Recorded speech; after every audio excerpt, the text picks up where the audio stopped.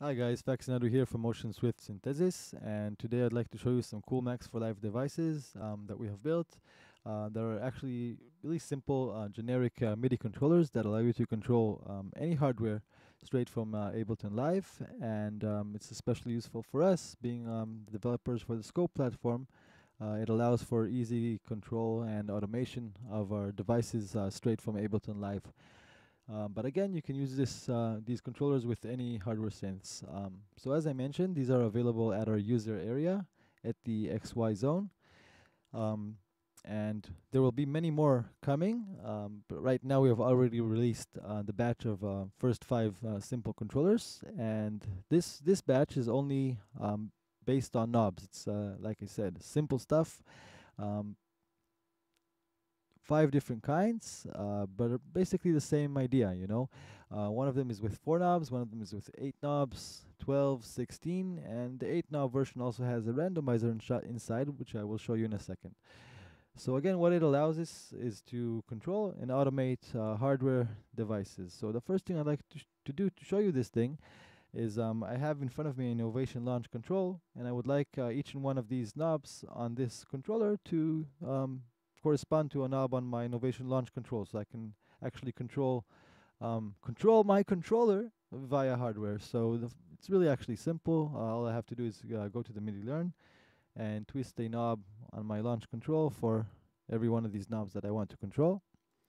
And now everything is connected and I can uh, move on to the next step. Um, so as you see here, the first row of values is the actual knob value for each knob. The second row is the MIDI CC assigned, the MIDI controller number that you assign to this particular knob. Now this is bidirectional, so uh, it will both transmit um, on this chosen MIDI CC as well as um, receive on this MIDI CC if you connect it in a, in a bidirectional config configuration, which I'll show you how to do in just a second. So I tend to use controllers between, uh, if I can, 102 and 119. Uh, it's just, I know in my head that these controllers are, as defined by the MIDI protocol, um, unassigned and unused on any device. So I know it's safe to always use them. So we have 102, 103, 104, and 106 here, just for the example. And now I can, um, assuming that I've connected everything correctly, and I'm sending my MIDI to where it's supposed to go, which in my case is the input of um, the, the, the input of the driver, you know, that, that goes into the scope, and that goes into whatever device I want to control. In this case, I opened for this example our Aeolian harp device. Now, if now all I need to do if I want to link it is I need to make sure that it's outputting. Let's see, scope PCI MIDI 1.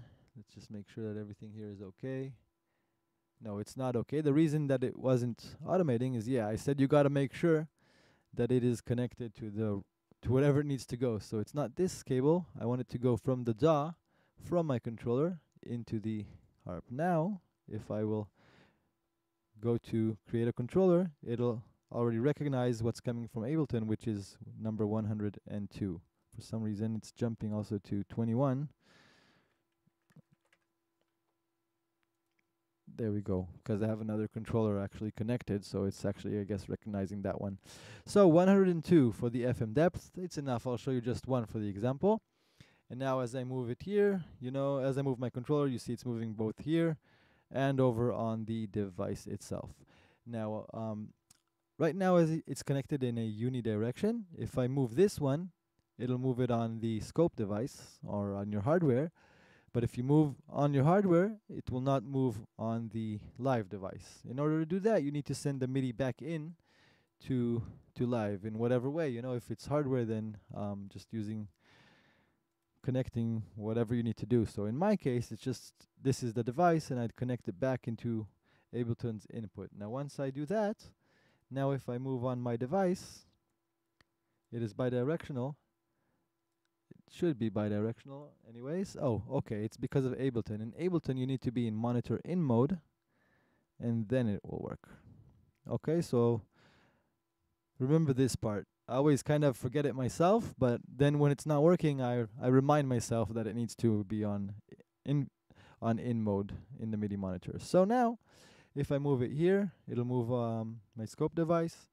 If I move it with my controller, it'll move my scope device. And if I move it on my scope device, it'll move the controller. So everything is behaving correctly. Now I can do that um, to any one of these knobs. Uh, I don't think it's necessary for this example to show. Um, but what it allows us again is to now I can really easily automate, you know, inside Ableton.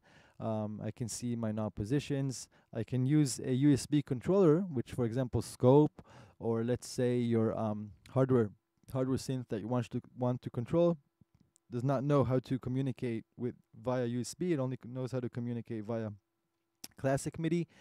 Um, but then you can you know use your DAW to to um, communicate with whatever USB controller you're using and um, then send it over whatever other you know MIDI methods to uh, your hardware or to other internal MIDI devices like for example in the scope card. So basically you're using your DAW as a sort of USB um, hub and um, Ableton is just really great especially for this. So Ableton and Max, Max for Live. So this is one of the controllers. Let's look quickly at the one with the randomizer. So I will not make the control assignments. It's uh, pretty much the same idea, um, only that here you have a randomizer. When you click here, you can see that um, all the knobs are being randomized. And they are randomized by this parameter, which is the depth of randomization. Uh, it's a cool way to, you know, uh, either get presets or even change your sounds real time if you just go by a little bit, you know. You can change it um, to as much depth as you would like. So these are, are um, really simple, as I said, um, Ableton controllers. Um, but as I've also said, uh, the user area, you know, it's a one-time fee. Uh, basically, if you want just the XY zone, if you if you're not a scope user, then um, the XY zone will cost just 15 euros to um, be a subscriber to, and those 15 euros grant you a lifetime subscription. And as this folder grows, you know, you you get more and more content. Um, it'll definitely include more controllers, and it already includes the Xbox 360 control, and it might include uh, other controllers as well in the future. So this could actually be pretty cool for you if you're using uh, hardware synths and you're looking for some um, simple but clever controllers, you know, uh, to use um, with Ableton Live or in standalone, um, depending on whatever controller you know. Check our other videos; you will see um, the different stuff that is offered. So um, thanks for watching and um, check out our uh, Ocean Swift and Synthesis website, oceanswift.net. Check out our user area and look out for the many more controllers that will come in the near future to this um, place over here. See you later, guys.